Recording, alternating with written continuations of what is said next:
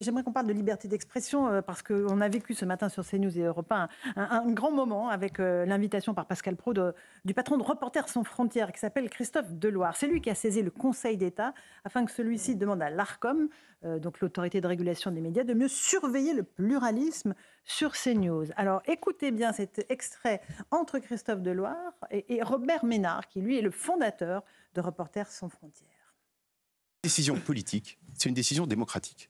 Il y a quand même quelque chose qui transcende euh, les logiques partisanes. Non, mais je, vais parler. Hein. particulièrement, je vais parler. Hein. Particulièrement s'agissant du journalisme et de l'information, c'est des grands principes d'honnêteté de l'information, de pluralisme, d'indépendance, euh, protéger la, la fiabilité que respecte ces, ces, euh, news selon la Il faut sécuriser la liberté d'expression. Et dans la liberté d'expression, il y a euh, des euh, responsabilités particulières attachées aux journalistes. Christophe, je suis atterré. Je te le dis. Quand on a créé Reporters Frontières, c'était exactement pour pas avoir cette attitude-là. Je me contrefous de savoir si je suis d'accord ou pas d'accord avec ce qui se passe à l'antenne de CNews. Tu devrais être le premier à te réjouir qu'un certain nombre de points de vue qui n'étaient jamais entendus sur des médias et des télévisions en France le sont grâce à ces news. Reporters Frontières, ça a été créé, pardon, c'est moi qui l'ai créé avec trois journalistes, tu le sais, je l'ai dirigé pendant 23 ans. Ça a été fait pour défendre des gens dont on trouvait les opinions, pour certaines de temps en temps, même indéfendables, figure-toi. On allait sortir des gens de prison dont je ne partageais rien, absolument rien. Voilà pour Robert Ménard qui répondait à Christophe Deloire. André Valigny, euh, vous qui êtes euh, ancien ministre, avocat aussi, la question de la liberté d'expression elle est centrale et, le rôle que joue Reporters sans frontières pose question. C'est ce monsieur Deloire qui est chargé d'organiser les états généraux de l'information par l'Élysée. Alors monsieur Deloire, je le connais bien, j'ai beaucoup d'estime pour lui. J'ai même à ses côtés, en 2016, défendu la liberté de la presse en Turquie, à Istanbul, en marge d'un d'un congrès international auquel je participais pour le gouvernement. Il était là pour Reporters sans frontières. On a dénoncé la, tyrannie d'Erdogan sur la presse turque. Donc il mène des combats qui sont courageux et utiles. Mais là, en l'occurrence, en l'espèce, je ne comprends pas ce qu'il cherche.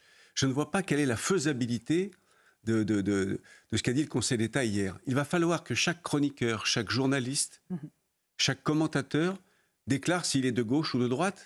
Alors, un, ça ne veut rien dire aujourd'hui, parce qu'il y a des gens de gauche qui sont pour le Hamas, plutôt pour le Hamas, d'autres plutôt pour Israël, d'autres qui pensent que la guerre en Ukraine doit cesser, d'autres qui sont pour le soutien jusqu'au bout de Zelensky, sur l'inflation, sur le chômage. Enfin, c'est une usine à gaz. C'est impossible, totalement impossible, que les hommes politiques ou les femmes politiques soient décomptés, que leur temps de parole soit décompté.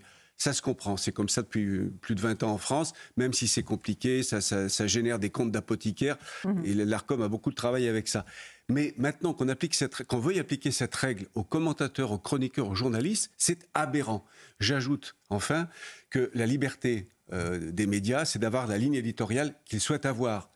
Mmh. souhaitent avoir. Et enfin, et c'est la conséquence de ce que je viens de dire, tout le monde n'est pas obligé de regarder ces news. Si la ligne éditoriale ne plaît pas, on regarde une autre chaîne. Il y a beaucoup des chaînes d'information maintenant. C'est même en France qu'il y en a le plus. Effectivement. Vincent Hervouette, vous qui avez bourlingué dans de nombreuses rédactions, euh, celle d'Europe 1, celle de TF1, LCI, un certain nombre de grandes rédactions. oui. Pas mal de euh, créations de, pas mal de créations de chaînes qui toujours sont nées d'ailleurs mhm. dans le mépris de la corporation. Euh, c'est un drôle de métier que journaliste. Hein. Non, c'est vrai ce que je vous dis. D'accord. On a créé LCI, on a créé France Info, hein, tous les confrères regardaient ça avec un profond dégoût. c'est un drôle de métier qui a toujours été un peu méprisé. Autrefois, c'était un suicide social de devenir journaliste. Hein. Et désormais, il y a un petit côté quand même, et un embourgeoisement de la profession qui est, extraordinaire avec euh, cette volonté de, de, rééduquer le, mmh. le consommateur d'infos, la puissance du bourrage de crâne aussi. Moi, je suis très étonné d'entendre, de voir des confrères qui, euh, qui prennent, qui, en, qui enfournent ce, ce, cheval de bataille. Vous voulez, même sur Reportation Frontière, c'est assez facile d'aller défendre d'une manière solennelle la liberté de la presse à Istanbul ou, euh, ou je ne sais pas où. C'est très bien de le faire. C'est bien, de le faire. C'est assez facile quand même, hein, de voltiger au-dessus des frontières, d'être un reporter sans frontières. Hein. Mais c'est beaucoup plus difficile d'être chez soi et de s'arc-bouter contre la marée montante et défendre la liberté pied à pied, au quotidien.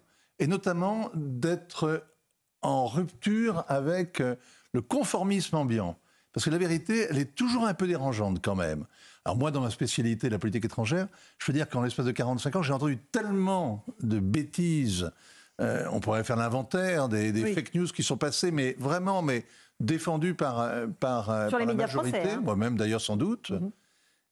donc, vouloir à tout prix comme ça enrégimenter, réguler, cadrer, imposer, je trouve ça... Interdire. Et en plus, je trouve que c'est une véritable trahison mhm. que ça vient d'un organisme subventionné, subventionné, faut-il le dire, et, et sans être paranoïaque, oui, qui est, dont, l'objet énormément de défendre la liberté d'information. C'est vraiment un truc qui défie, la, qui défie la, logique. Rapidement, euh, Geoffroy Lejeune, Naïma Mfadel, euh, sur cette euh, question. Moi, rapidement, en fait, j'ai été traité ce matin avec Jean-Marc Morny de, de, putois par, par ce monsieur qui dit que j'étais donc dans la stratégie du putois pour de mettre quelqu'un qui, qui gêne tout le monde pour faire partir la rédaction. Et en fait, en l'occurrence, c'était le JDD. Le JDD, le patron du JDD. Quand, été nommé, quand j'y ai été nommé. Moi, je voudrais raconter une histoire à Monsieur Deloire s'il nous écoute. J'imagine qu'il nous écoute. Il a une forme d'obsession pour euh, cette chaîne et pour cette radio, donc j'espère qu'il nous écoute. J'ai vécu cet été quelque chose d'absolument exceptionnel que je pense euh, peu de gens ont la chance de vivre dans leur carrière. Vincent racontait à l'instant qu'il avait créé des médias. Moi, j'ai eu la chance de pouvoir euh, fabriquer le premier journal du dimanche avec une dizaine de personnes, c'est-à-dire en repartant de rien contre tous les vents de la profession qui nous crachaient mmh. dessus sans d'ailleurs qu'on soit défendu par, par RSF. Et, et, en fait, en quelques jours, on a remis sur pied un, un, journal qui sort une fois par semaine le dimanche, donc, et en touchant absolument à tout, à une dizaine, vous imaginez bien que même techniquement, c'était compliqué à faire. Et on l'a fait comme ça pendant plusieurs semaines jusqu'à trouver un rythme de croisière. Je pense que c'est quelque chose que M. Deloire n'a jamais vécu. Je pense que c'était même d'ailleurs, j'ai touché à ce moment-là à la quintessence de mon métier, c'est-à-dire faire en sorte que le lecteur ait la possibilité euh, de d'avoir accès à cette information qu'on voulait lui donner. Et j'ai eu l'impression de retourner moi à quelque chose de, qui était fondamentalement la racine de ma vocation. C'était absolument extraordinaire. Je pense que lui ne l'a jamais vécu. Je pense que lui, j'ai pas regardé sa carrière dans le détail, mais je pense qu'il ne connaît pas ça. Et, et je voudrais souligner qu'au-delà de la liberté d'expression, aujourd'hui, il attaque aussi euh, ce groupe de médias dans sa, faculté à faire du journalisme, à, faire, à produire de l'information, euh, alors qu'on en fait beaucoup plus qu'il n'en a jamais fait. Naïma Fadel, rapidement. pour moi, il s'attaque aussi à la République, puisque la liberté d'expression est une valeur sacrée de notre République et, de, et la base de la démocratie. Donc c'est ça qui me gêne, moi, aujourd'hui. C'est que je me rends compte que, en fait, naïvement, j'ai cru que tous les journalistes allaient euh, se lever comme un seul homme, euh, Pardon allaient avoir un général pour soutenir, au-delà des opinions de chacun, euh, CNews. Malheureusement, bah, écoutez, ma naïveté m'a encore joué un tour. une, une, chose, pardon Laurence, je, consulte très régulièrement une revue de presse pour voir ce que disent les médias à ce sujet-là. Depuis qu'ils ont compris que ça allait toucher toutes les chaînes et pas uniquement CNews, ils rigolent beaucoup moins. Le vent a tourné. Marc Totti Oui, ce que je veux dire, c'est que le gros problème que nous avons, c'est qu'on on est face à un déni de réalité permanent aujourd'hui avec une bien-pensance, entre guillemets. Et dès qu'on pense pas comme tout le monde, on est traité de complotisme. Ça m'arrive. Alors, c'est vrai qu'en France, il n'y a pas beaucoup de culture économique. Donc, euh, beaucoup de fausses idées passent. Euh, et dès qu'on dit la, vérité ou la réalité économique, alors, oula, c'est du complot. Non, en fait, encore une fois, euh, moi, ça m'arrive de donner des chiffres de l'INSEE, par exemple. Donc, il n'y a pas de complot. On dit, ah non, il faut pas dire ça, tout va bien. Et donc, c'est cette connivence avec, avec le pouvoir, notamment. Et donc, ce, cette complaisance, j'ai envie de dire, ce déni de réalité permanent qui fait que, justement, on croit qu'il y a des complotistes ou, autres. Et donc, on a la chance de dire, ici, moi, je suis pas journaliste, hein, je suis économiste. Et sur d'autres chaînes, également, d'ailleurs, heureusement, de, dire simplement cette réalité, les choses. Et donc, ça, c'est pas du complot, c'est justement de la liberté de parole tout court. Pas que de la presse, de parole. d'expression. Non, simplement, moi, je voudrais qu'on sorte de l'hypocrisie. Tous les médias, quels qu'ils soient, ont une ligne éditoriale et une sensibilité.